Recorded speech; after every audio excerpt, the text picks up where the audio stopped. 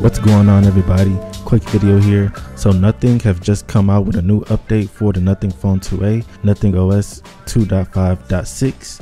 They've added some great new UI tweaks. Also, I wasn't able to do a video on the previous update for this phone, the Nothing OS 2.5.5a update, which added some cool new chat GPT features baked right into the OS. So I'll go ahead and go over the important parts of both of these updates in this video. Let's get into it.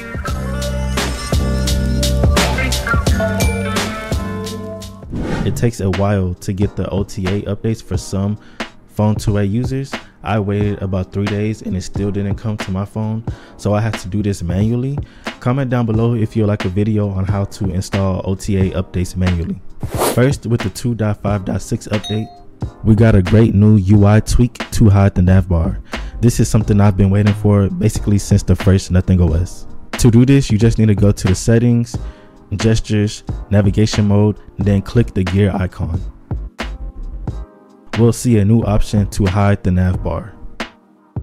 There's also an option to swipe to invoke Google Assistant.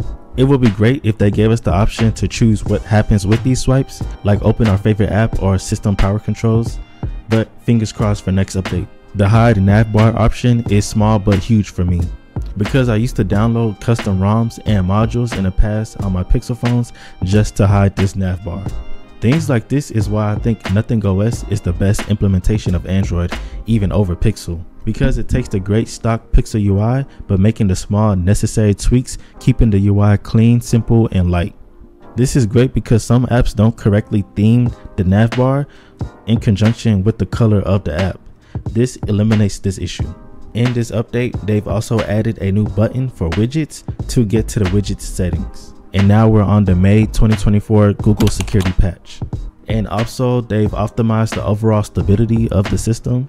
The Phone 2a is not the fastest phone, so I'll test this out and go over it in my full review, sub for that if you like. Now let's go over the 2.5.5a specific changes. They've added ChatGPT integrations and this is for the phone 2a and also for the phone 1 we have dedicated chat gpt widgets for search voice search and photo search you can resize these widgets as shown and they all follow that great nothing os theme don't forget you can also put these on the lock screen if you like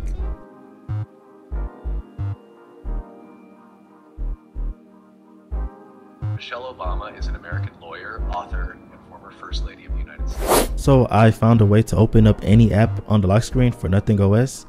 If you're interested, check out that video. It'll be the first link down below. They've added minor stability updates to the UI and the camera, so I'll also go over those in the full review. That's it for this video. Like if you want to help me out. If not, that's cool. Comment for any questions. Sub if you want more Nothing Phone videos. Alright, peace.